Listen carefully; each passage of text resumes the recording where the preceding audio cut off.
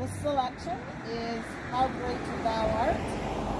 It's found in your Green Lutheran Book of Worship, hymn number 532.